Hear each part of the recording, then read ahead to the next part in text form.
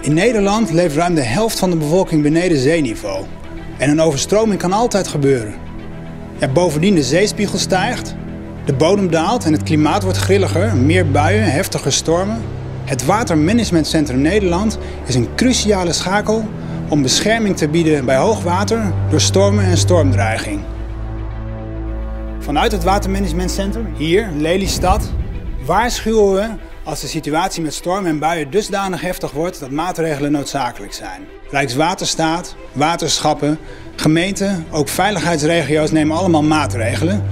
En iedereen kan daarbij rekenen op de adequate informatie van het Watermanagementcentrum. Continu monitoren we de waterstanden langs de kust, de grote rivieren en de meren. Zo hier bijvoorbeeld bij Hoek van Holland, daar zien we vanmiddag een uh, piek optreden.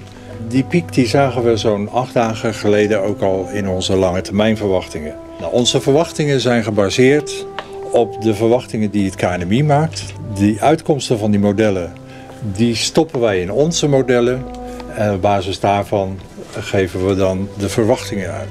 Het KNMI die levert dagelijks weersverwachtingen die gebruikt worden voor de waterstanden. Spannend kan het worden op het moment dat er een noordwesterstorm staat van windkracht 9 of hoger. Dan waait al het water richting Nederland en kunnen de waterstanden heel hoog komen. Nou, zeker als het springtij is. In dat geval gaat er iemand van het KNMI richting Lelystad om in het crisisteam intensief te overleggen over het weer en de waterstanden. Zodra wij een eerste melding binnenkrijgen, gaan wij bekijken welke maatregelen er nodig zijn binnen het gebied van ons waterschap. Uh, zo kunnen wij de dijkdoorgangen sluiten, bijvoorbeeld bij Den Oever. Uh, bij een waterstand verwacht boven 2,40 meter uh, moeten we voorkomen dat het water het dorp instroomt. Maar we sluiten ook gemalen, sluizen, inlaten. En we kunnen zelfs patrouilles instellen om de dijken te laten inspecteren op eventuele schade, zodat we die snel kunnen herstellen.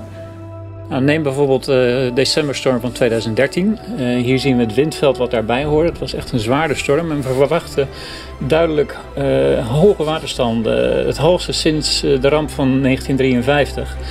Um, en dat bleek ook daadwerkelijk uit te komen. Uh, sterker nog, in het noorden van het land, bij Delfzijl, hadden we waterpeilen die uh, opliepen tot 4,80 meter. Wij hebben die informatie snel, accuraat doorgegeven aan het waterschap, zodat zij de juiste maatregelen konden nemen. Vice versa kregen wij die informatie weer terug, zodat wij een goed landelijk waterbeeld konden maken. Zo werken wij samen aan de bescherming tegen overstromingen van Nederland.